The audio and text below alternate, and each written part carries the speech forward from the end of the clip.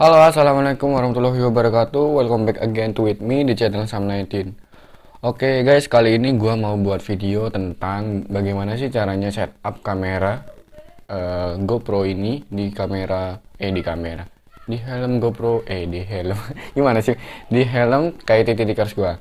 Nah eh, sebelum itu eh, untuk GoPro sendiri dari GoPro Hero 5 itu kalian harus beli beberapa item sih gitu yang tapi yang mau ngevlog sih yang buat ngevlog. Yang terutama sih ini banget ya. Ya kamera sih utamanya banget. Ini gua GoPro Hero 5 ya guys. Nih. Dan yang kedua ini ini mic adapternya ini gua beli kisaran em, 900 lah. Ini doang nih nih nih. Buset. Dan ketika kalian udah punya dua ini kalian harus beli eh, case-nya case case-nya sih harusnya eh, punya si GoPro sendiri ya? Eh punya si GoPro si Ulanzi. Ulanzi gua kemarin nyari eh, yang punya Ulanzi buat GoPro Hero 5 itu kosong guys. Jadi gua beli ini no name nggak ada tulisan Ulanzi Ulanzi-nya gini. Tapi gak apa-apa lah oke kena pakai kan gitu. Jadi kita pasang dulu kameranya ke case-nya nih. Ntar guys, gimana tangan gua? Ini ya. Ini. Nah, ini eh, emang buat GoPro Hero 5 sendiri sih. Soalnya case-nya itu eh, emang beda-beda guys. Ada yang punya GoPro Hero berapa lah gitu guys. Dan ini kita masukin eh gimana? Oh gini. Eh, posisinya cara kalian sih. Kalau gua sih gini.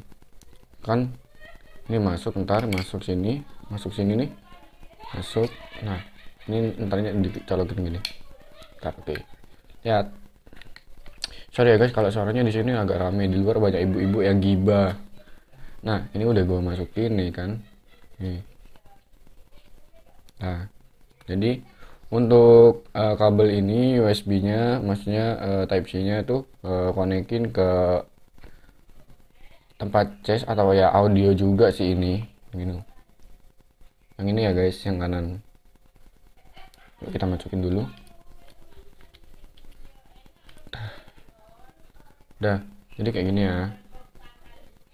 Nah, kayak gini. Kelihatan ya? Kelihatan, oke.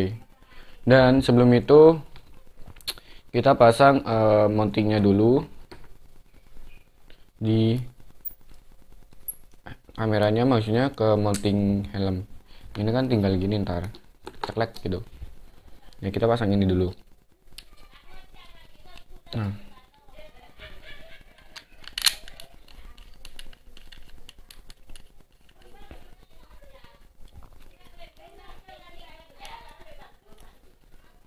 eh, kadang eh, beberapa motovlogger nggak selalu make eh, mountingnya di sini. Ada juga yang ah, apa ya, apa ya? Intinya bisa dibuka pasang. Kalau punya gue kan ini udah direkatin pakai eh soalnya 3 3M gitu. Jadi ini nempel terus ya kayak gini. Nah, nah ada juga yang ada make di samping. Kalau di samping sih lu- eh, bagus juga tapi ya kalau gue sih ribet gitu. Jadi mendingan di tengah pas gitu. Dan kita pasang ke nih ini guys, ini patah satu. Ya beginilah perjuangan hidup. ini patah, kita pasang ke helm.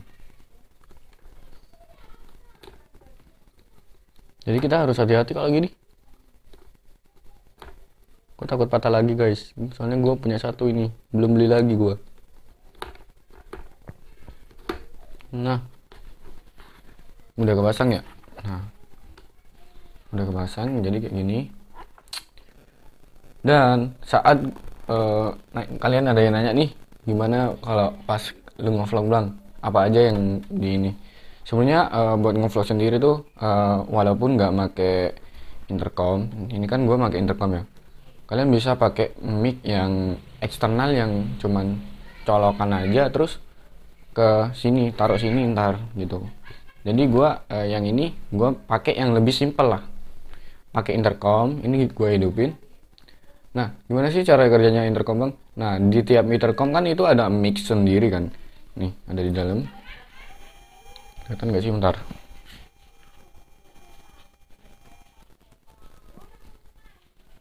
Hmm, mana ya? Tuh. Nah itu. Itu ada mic kan? Nah itu micnya dari uh, dari si intercom. Jadi tapi untuk yang BDS 3 gue dulu nggak dapat yang ada ini guys. Cuman mic uh, headset sini terus nggak ada buat uh, kabel for kamera gitu. Maksudnya uh, audionya masuk ke audio kamera jadi gue beli lagi dalamannya maksudnya mic sama headset. Itu gue beli lagi di Shopee dan kebetulan ada yang custom buat BTS 3 ya Alhamdulillah. Kenapa gue milih ini ya? Gara-gara itu. Gue nggak ganti dulu. Ntar lah upgrade sana sih boleh. Nah untuk yang ini kita uh, colokin anjay kalau colokin apa sih? Ah ini. Konekin ke sini. Sini kan ada dua lubang guys ini ada buat ini apa? Mic catnya apa nih? Masa nggak nggak tahu sih apa satunya ya. Ini gitu. Dan gua biasanya ya harusnya harus masang di sini kan. Ini buat 3,5 mm nah. Terus ini gue kurang masuk. Nah itu. Dan ya gitu. Nih jadi ya kayak gini lah guys. Gue kalau ngevlog nih dalam-dalam ada banyak kabel apalah gitu guys. Nah dan untuk ngidupin kameranya sendiri ada di sini. Ini buat ngidupin layar.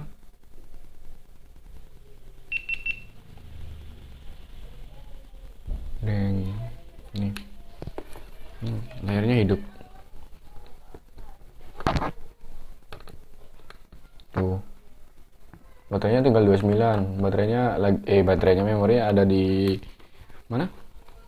Di HP gua pindah kemarin buat ngupload video. Dan untuk ngerekam sendiri ya ini. Jadi seperti inilah cara setup um, kamera GoPro ke helm KUT gua dan connect to intercom. Jadi suara intercom maksudnya mic dari intercom langsung masuk ke kamera guys. Jadi nggak perlu pakai mic yang eksternal lagi. Yang biasanya kan colokin ke sini terus langsung ke ini. Apa? Langsung ke ya intinya di mulut ini. Kan itu bongkar pasang ya gitu. Ribet. Nah gue beli intercom ini dulu. Ya udahlah. Gini guys. Jadi so uh, seperti inilah cara setup kamera. GoPro Hero 5 gua di helm kayak TTD Course gua. Anjay sebut merek semua nih ah. Oke okay guys mungkin uh, cukup sekian aja video dari gua. Thank you for watching. Dan jangan lupa like comment dan subscribe.